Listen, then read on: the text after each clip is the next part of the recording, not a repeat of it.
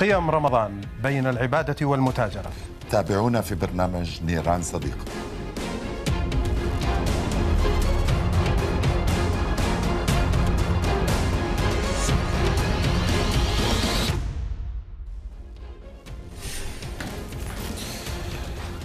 واحدة من من أولى علامات الانحطاط الحضاري هو تدنيس المقدس عندما يتحول ال- ال- الشيء الروحي والديني إلى شيء دنيوي سواء في حالة كرنفالية أو في المتاجرة بهذا المقدس للحصول على سلطة. هذا ما حدث لرمضان في رأيي من خلال السنوات الماضية المتابعة. كمية الإعلانات التجارية والمسلسلات تحول شهر رمضان إلى شيء أشبه بالكريسماس.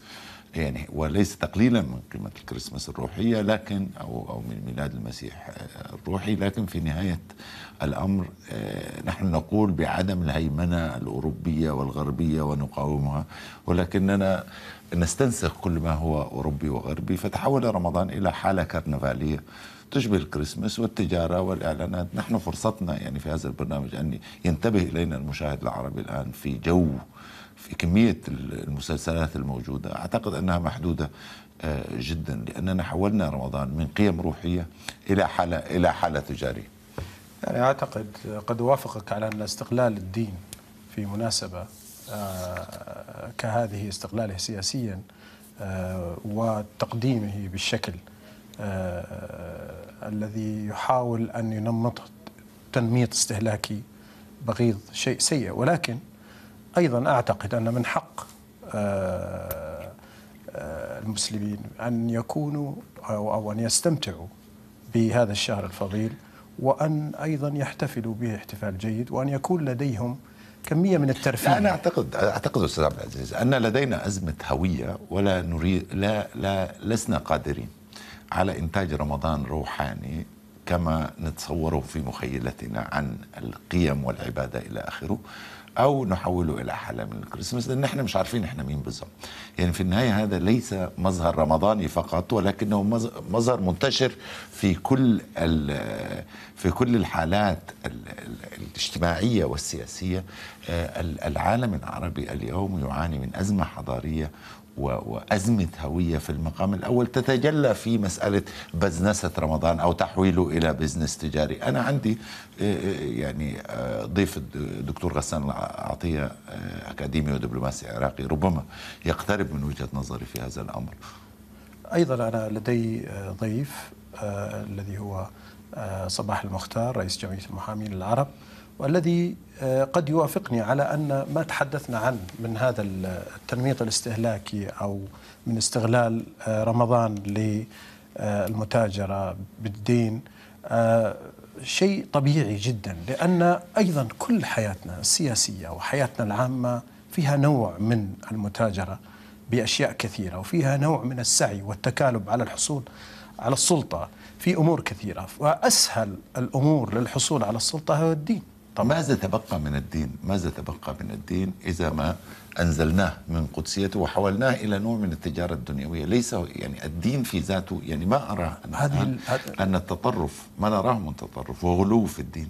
ليس ملمح من ملامح زيادة التدين في المجتمع العربي دكتور- بل دكتور- هو ملمح من ملامح تفكك دكتور الدين في المجتمع أنا أنا أتفق معك إنه في هناك الكثير من التجاوزات.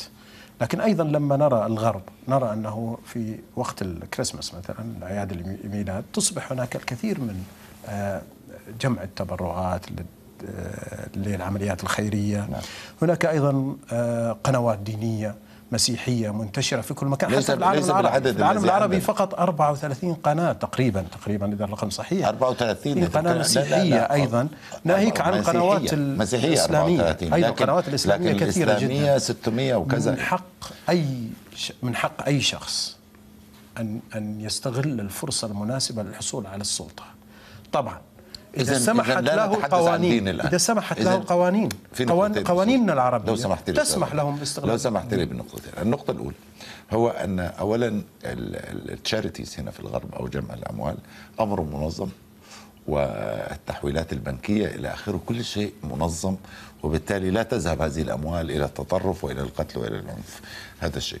الشيء الثاني أن لدينا هنا يعني الفكرة الفارق بين العالم العربي والغرب هو الدولة والقانون.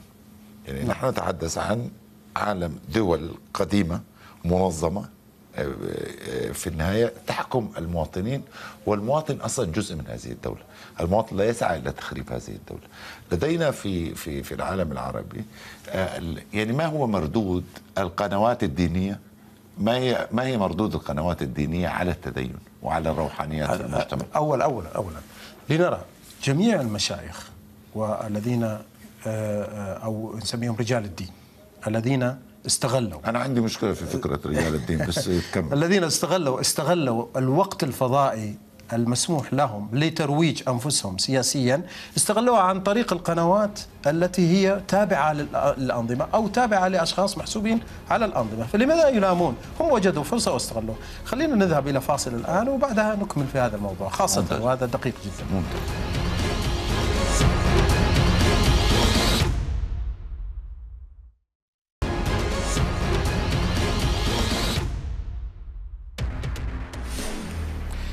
يحل آه، في هذا الشهر الفضيل معي في هذه الحلقة وبيننا الأستاذ صباح المختار رئيس جمعية المحامين العرب آه الذي سوف نثير معه أيضا موضوع قانونية آه استغلال شهر رمضان في التبرعات وفي غيره. ولماذا تنشط الكثير من العمليات الجمع التبرعات فقط في شهر رمضان أكثر من غيره لأن هذا الموضوع مثير للاستغراب أيضا.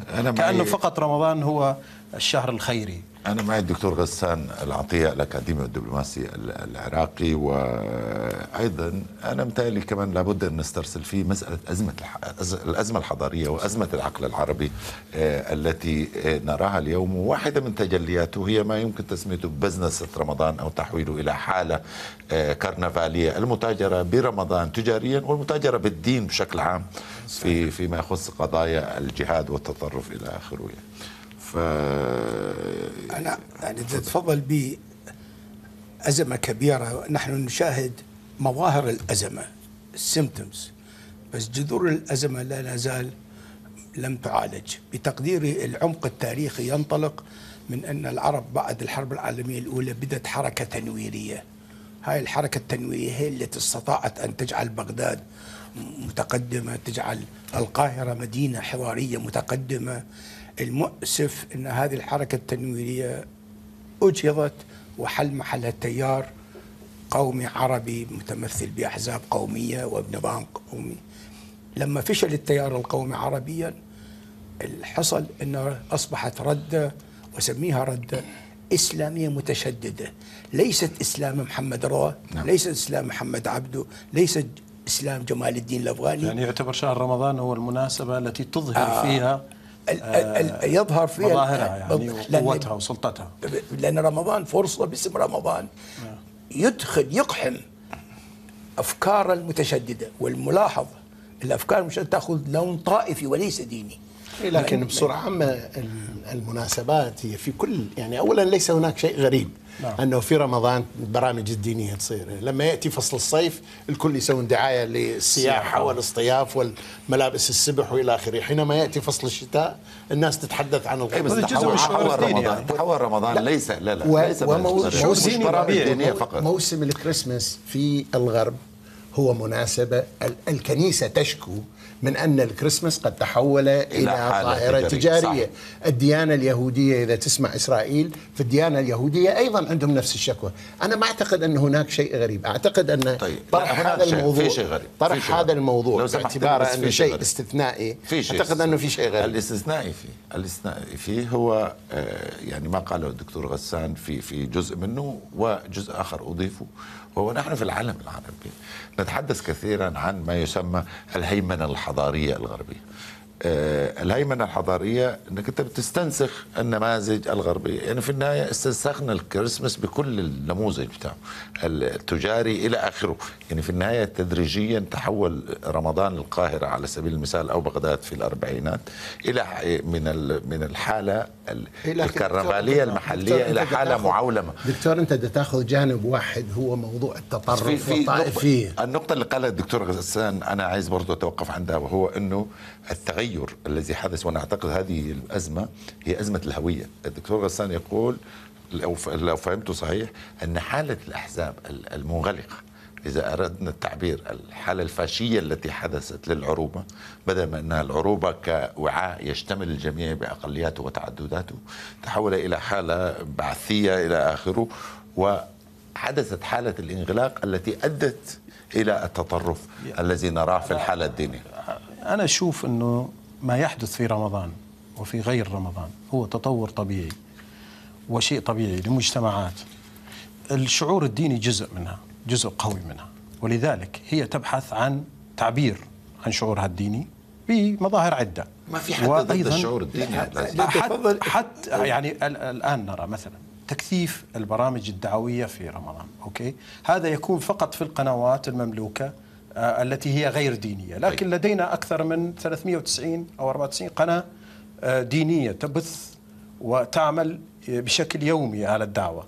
آه، في الوقت نفسه أيضا نرى أن هناك الشكوى من مظاهر الإلحاد ومظاهر الانحراف ومظاهر بس كأن كل هذه الدعوة لم تنفذ لذلك لو سمحت لماذا لو سمحت يخشى؟ يخشى. لو سمحت كيف كيف تتكلم؟ يعني أي شيء له مردود. نعم. القنوات الدينية إذا كان مردودها هو الذبح جز جز جز الرقاب في في في بغداد وفي وفي سوريا. اذا أي قيم دينية هذه التي تثبت هذه القنوات؟ 395 محطة. أنت أخذت فت ست سبع محطات منها. ال 395 اللي تبث الديانة المسيحية والاسلام بغض النظر إذا إسلام الشيعي ولا الإسلام السني. ما تحض على هذا؟ هناك أعمال إرهابية بدون أدنى شك لكن هذا ما ما من من أين تبث هذه القنوات الدينية؟ من من من, من نايل سات المملوك للحكومه المصرية. من عرب سات المملوك للأنظمة العربية مشتركة فيها. من يوتل سات المملوك لفرنسا. مضبوط أو أوروبا لكن حتى إذا فبالتالي أنت الذي تسمح لهم بتقديم وجباتهم أنا اللي ابين ان أنا ضد القمع وسياسة الإلغاء هذا خطأ لكن لازم تكون هناك قوانين وتشريعات من التشريعات اللي أي مؤسسة لها تمثيل ديمقراطي أو شعبي. بث الكراهية هذا عنصر نعم. تخريبي. بث الكراهية لا يختلف عن ضرب الناس بالقنابل. الكراهية تخلق مآسي أكثر فلما تجي شهر شهر شهر الرحيم شهر الرحيم يتحول إلى شهر. بث الكراهيه والفعلا ويسمى ما يسمى الآن في برامج كثير أثير الكراهية. وإذا بك تفتح قناة باسم رمضان وإذا به كل سموم طائفية. وتفتح القناة الثانية باسم رمضان كل سموم طائفية. أنا سعيد أنت أشرت إلى أثير الكراهية. أثير الكراهية البرنامج اللي سوته البي بي سي هناك إحدى المحطات الرئيسية التي تبث من بريطانيا. هنا ما أريد أذكر أسماءنا. محطة تبث من بريطانيا ولحد الآن لم يستطع من يعارضها إغلاقها بالرغم من بث الكراهية. في نفس في نفس الوقت الحكومة البريطانية قامت بغلق محطات أقل كراهية لكنها تختلف معها يا سياسيا. يا دكتور إحنا لا نريد أن نقدس آه، يعني الدول بشكل كامل. كل الدول لديها أخطاء حقيقية حتى دولنا العربية كما تفضل عبد العزيز بانه في نايل سات وعرب سات وبث عليها سيل من الكراهية غير المنتهي. لكن في نهاية المطاف لابد أن نرشد هذه الدول ونقول ترشيد هذه الدول ونقول لها بأن هناك أخطاء حقيقية أن البث الثقافي الذي يحدث الآن بث الكراهية سيحول هذه المجتمعات إلى مجتمعات تخريبية غاضبة وتنتهي فكرة الدولة طيب تتحول طيب إلى طيب طوائف طيب وقبائل يعني. الفكر العملية الانتهازية التي تحدث مثلا في آه، رمضان خاصة من قبل بعض رجال الدين بدون أسماء بدون ما أذكر أسماء أضرب مثال أحد آه، رجال الدين استغل قناة آه، قناة تبث من قناة تابعه للسعودية مثلا. واستغلها في الخروج في رمضان خاصة برنامج هو كسب شعبية كبيرة جدا في العالم العربي بسبب هذا البرنامج. البارحة ينتقد هذه القناة ويطالبها بالتوبة. أحد أيضا رجال الدين ظهر على قناة في لبنان تتهم من رجال الدين بترويج العري. ولما سئل لماذا تظهر في هذه القناة قال أنني أشارك ضمن هذه القناة في على الأقل في بث شيء من الضوء الإيماني. طيب سؤال عندي. هل أن الإعلام أنتم محطات التلفزة يعني ما عندها دور هي بريئة في هذا في هذا المجال؟ كله هو مشكلة اللي دا يسوون البرامج؟ ما هو هي لا لا محطات التلفزه لا لا لا. أنا لا أتهم. أنا لا, لا أنا لا يعني وجهة النظر الذي يريد أن أوصلها. المشكلة ليست مشكلة القناة ولا مشكلة رجل الدين. المشكلة النظام الذي إلى الآن لم يفرض قوانين تمنع الحظ على العنف وتمنع الكراهية وترسي الوحدة الوطنية. لدينا مشكلة تصور ي... ي... الإسلاميين هم الذين يقفون ضد مشروع آه، مثلا في السعودية للوحدة الوطنية. من هم؟ الإسلاميون. يا أستاذ عبد العزيز المشكلة الدولة نفسها مذنبة في هذا لأنه مشكلة الثقافة العربية الآن أننا نعود إلى أرضية التطرف. يعني إحنا مرجعيتنا الثقافية هي مرجعيات التطرف يعني يأخذون إلى أرضيتهم للحوار حول الهوية العربية والقيم الإسلامية. يعني في النهاية ما هو الكتاب الجديد الذي كتب في نقد ابن تيمية أو في نقد أو يعني كل هذا هذه القضايا وهم ناس أقل تعليما منا يعني في إنتاجهم الفكري. هنا في يعني أصبحت مقدسات كتب سيئة جدا. أصبحت مقدسة أصبح عندنا sense يعني. أحد, يعني أحد, أحد, مدراء أحد مدراء الشرطة في في لندن هنا اعتبر خبر قبل ثلاثة أسابيع أن من يؤيدون مقاطعة شراء البضائع من ماركس سبنسر يدعو إلى التطرف ويجب أن يحارب. هذا مدير الشرطة اسمه مارك. هذا هذا commander أحد ال commanders مال مدراء الشرطة. طبعا بعدين صار حديث وقال لا ما كان مش مقاطعين مارك سبنسر مليان ناس. المهم أنه خاصة العرب. لا هي الفكرة الأساسية أنك تقاطع بضائع أو تدعو لمقاطعة نعم. البضائع يصبح نوع من التطرف. لا لا أنا أريد أدخل من باب الإناء ينضح بما فيه. المشكلة الأنظمة العربية والدول العربية بعد فشل التيارات القومية اللي كانت تلهب بالعرب وتحرير فلسطين وكل هالكلام فشلها. أصبح زي رقاص الساعة. من كنا بهذا الاتجاه تحولنا للاتجاه الثاني. وعلينا أن ندفع الثمن شعوبنا تدفع الثمن أن نتعلم. السؤال هل نتعلمنا من أخطائنا لم نتعلم. أنا أعتقد لا. السؤال الآخر. لماذا؟ لماذا آه. لم نتعلم؟ آه، عدة أسباب. أولا الخراب اللي حصل في أي مجتمع آخر اللي حصل في اللي تقدم بالهند لا أريد أجيب أوروبا. هو لما تكون عندك طبقة وسطى وقيادات مستنيرة. أي بلد يتطور بقياداته بنخبه لا يتقدم بجماهير الفلاحين والعمال. القيادات والنخب اللي ظهرت في الهند هي بزعامة نهرو بزعامة غاندي هي اللي في فارق في فارق في العالم العربي دكتور غسان وهو أنه في العالم العربي النخب النخب الثقافية. أولا ليست هناك ليست هناك جامعة محترمة في العالم العربي يصدر منها كتابا محكما. يعني في نهاية المطاف كل ما ينشر على قارعة الطريق يعتبر كتاب. الكتاب في الغرب له قوانين في تحكيمه ونشره. وبإضافة خصوصا الكتب النشر هو الإضافة اللي له أن تجد أن الإبداع الفكري العربي هو إبداع مهاجر. أحسن الروايات كتبت خارج. آخر رواية اطلع عليها بالألماني آه اسمها آه رفيق رفيق. آه, آه، رفيق شامي العراقي السوري. نعم. بالألماني وترجمت للانجليزيه إلى الآن لا ترى العربي. ترجم العربي ترجمة عربي من العرب أنا أشك والذين كتبوا. والذين كتبوا. اشياء لا يتحمل أراكون وغيره كتبوا في الإسلام. سعيد في أمريكا. الفكر العربي المنتج مهاجر. لا يسمح لنا في بلادنا أن نعيش وبالتالي لمن تحرم خل أي بلد خل من النخب الفكرية خل خل خلصونا من الفكر لا لا بس هو خلينا في المحتوى. في شيء أيضا مهم جدا على الساحة وهو جمع التبرعات في رمضان.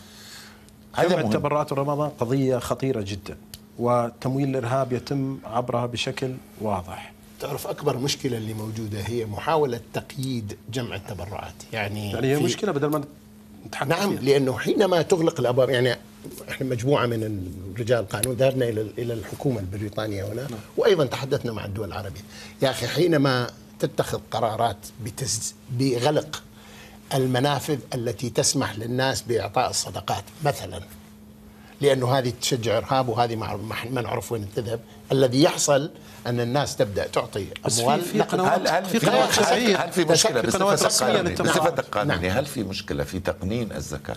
في إطار بيت المال في لا لا إطار لا ذلك خارج موجوده أنظمة وجمعيات رسمية. لا لا لا, لا أنا أدخل في أنا متهيألي الجمعيات الجمعيات وجود الجمعيات الخيرية واحدة من علامات فشل الدولة أحيانا. يعني في النهاية إذا إذا إذا هناك أعمال يجب على الدولة أن تقوم بها ولجأ إليها الأفراد لحل هذه المشكلة. هذه ملمح من ملامح قصور الدولة. الله يخليك شوي على كيفك. هدي ويانا. لا لا والله. يعني بهدي معك. لأنه شوف واحدة من ملامح الفشل الدولة هي وجود هذه الجمعيات موضوع مساعدة الآخرين هو شعور إنساني موجود في كل الحضارات وفي كل الدول وفي كل الديانات. هذا لا يعني أن الدولة عليها أن تقوم بكل شيء. لكن اليوم أنت عندك لما عندك 200 جمعية اللي تجمع تبرعات للأيتام ولا لأي شيء لاي هذه ثم تقوم ثم تقوم بغلقها كم جمعية متهمة بالإرهاب الآن؟ حتى في بريطانيا. كلامك جيد. يا أخي يجب أن تنظم بقانون هنا في بريطانيا كي كي تتبرع. لازم نكون تشاريتي لازم هي قانون. قانون. حينما تصلي الجمعة هنا في مسجد في لندن. قبل ما تبدأ في الصلاة ما يمرون عليك بإناء؟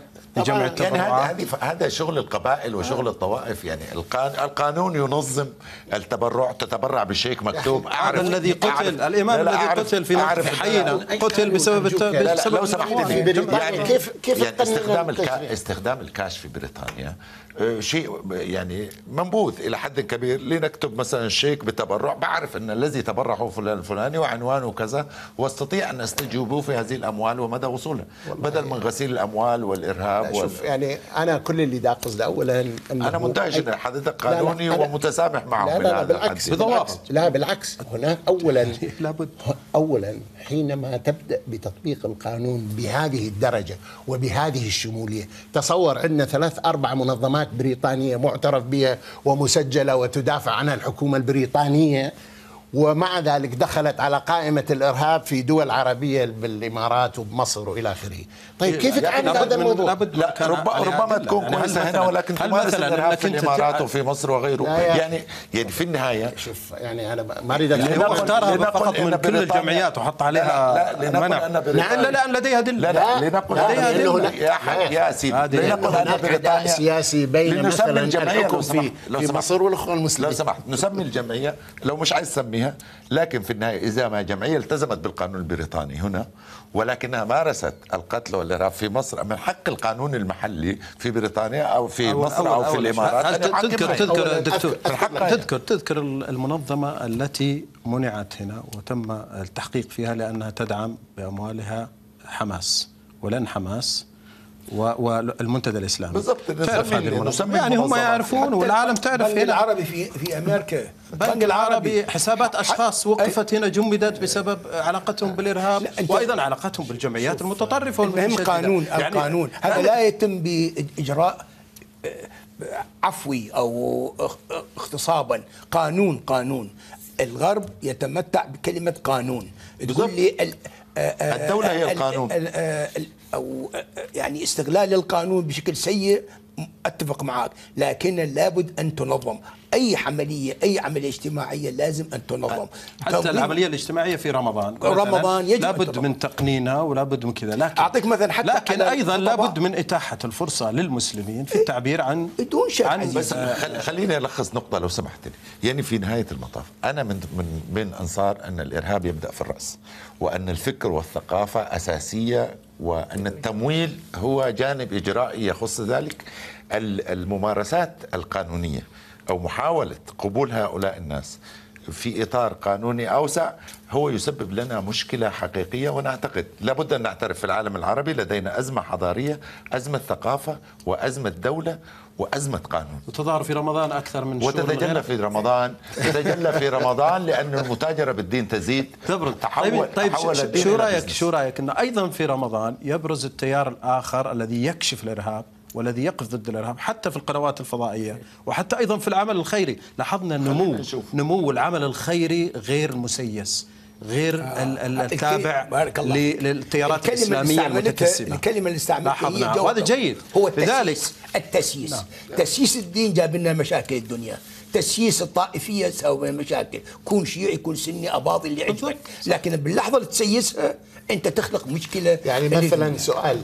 هل أن إعطاء التبرعات إلى سنعيش في مستنقع التطرف طالما نحن يعني قاعدين قاعدين بنتناقش على ارضيه التطرف هل أن إعطاء التبرعات إلى اللاجئين سواء كان في سوريا ولا في العراق ولا في غزة هذا تسييس ولا لا؟ اولا والشيء الثاني كيف تختار واحد مختلف. مختلف. هذا نتكلم على رمضان لا عموما إحنا انتهى, انتهى وقتنا. شكرا لكم. يعني الأمر مختلف. في العراق وفي سوريا